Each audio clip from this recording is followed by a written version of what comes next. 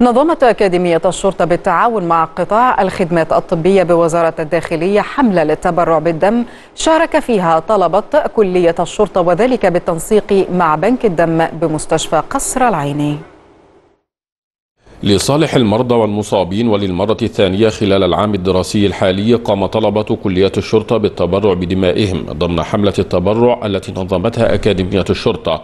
بالتنسيق مع قطاع الخدمات الطبية بوزارة الداخلية والتي تأتي امتدادا لسلسلة حملات تبرع مماثلة تحرص عليها الأكاديمية. كل الطلبة جاية من تلقاء نفسها زي ما بنعلم الطالب في خلال أربع سنين إزاي يتخرج ويحمي أمن مصر.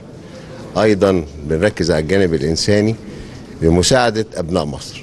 المئات من طلبة كلية الشرطة أبدوا رغبة في التبرع بدمائهم وعن قناعة تامة للتخفيف من معاناة المرضى ترسيخا لقيم العطاء التي تم تنميتها داخل أسوار أكاديمية الشرطة فكان التسابق للتبرع. إحنا دايما الكلية بتعلمنا إن إحنا والشعب كيان واحد ودايما إحنا في ظهرهم فأقل حاجة ممكن نقدمها لهم هي التبرع بالدم.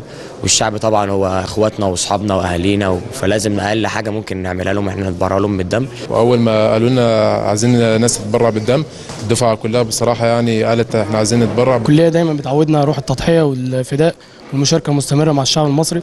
وطبعا إحنا كطلبة كلية الشرطة مستعدين إن إحنا نضحي بأرواحنا ودمنا دي أقل حاجة ممكن نقدمها لل للمصابين والجرحى من الشعب المصري. امتنان وشكر قدمه القائمون على حملة التبرع بالدم من مركز نقل للدم بمستشفى القصر العيني على هذا الدور الإنساني الذي يسهم في إنقاذ حياة العديد من المرضى والمصابين.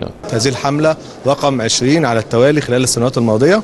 بنلاقي الحمد لله كل إقبال وكل خير وكل عمل إنساني من طلبة الشرطة ومن كل قيادات الشرطة الموجودين في الأكاديمية بيسهلوا لنا كل التسهيلات وكل ال ال ال الإجراءات. التبرع لم يقتصر على الطلبة بل تسابق إليه ضباط الأكاديمية أيضا.